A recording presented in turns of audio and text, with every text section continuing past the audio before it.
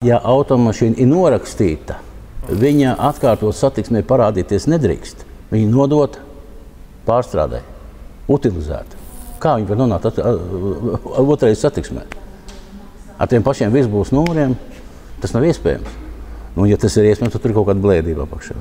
Nu, tas ir atkarīgs no tā, vai apdrošinātājiem ir kaut kāda iepriekšēja informācija par šo automobīlu, vai ir šī informācija, ka kādreiz tas ir bijis norakstīts. Es zinu gadījumus, kad automašīna tiek norakstīta pat salīdzinoši varbūt ne tik nopietnas avārijas dēļ. Kāpēc? Tāpēc, ka vienkārši tie mezgli, kas tajā avārijā tiek bojāti, ir pietiekami dārgi, lai nu, nebūtu jēgas šo automašīnu atjaunināt.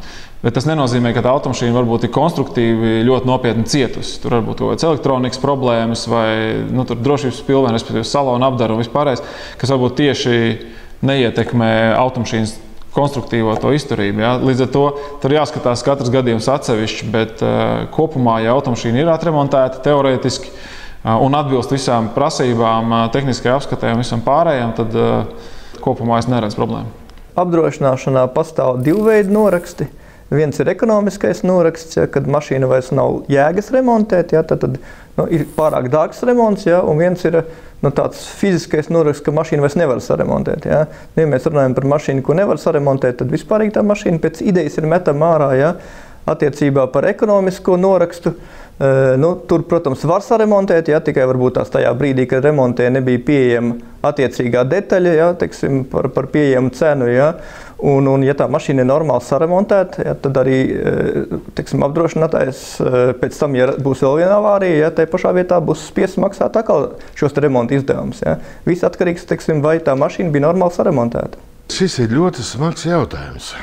Ko nozīmē, ja apdrošinātais norakstīs? Tie speciālisti, kas bija pārbaudījuši automobīļu deformācijas, kādas viņam reāli ir ceļu satiksmes negadījumā, kas ir radušās, Viņi uzskata, ka, ja pārsniedz 75% teiksim, automobīļu vērtību atjaunošanā, tad viņš ir norakstāms. Pie ļoti lielām deformācijām mēs nevaram atjaunot automobīli tā, ja, kas būtu apmēram tajā pašā drošībā. Nevaram. Nē, varēt, var, es atvainojos, varēt var visu, bet cik tas maksās? Tas absolūti neredzēs. Nu, ja es teiktu, ka kaut kāds vēsturiskais vēl kaut ko, man neinteresē, cik maksās, man vajag to automobili un kvalitāti, jā, bez šaubām. To var izdarīt, viss kārtībā. Ja? Tā kā mans kādreizējais kolēģis teica par šiem jautājumiem, ka remonts jāveic ar koeficientu 1,2. Tad labāks vēl par to jaunu, kas bija tajā laikā. Un tad ir garantija un drošums un viss.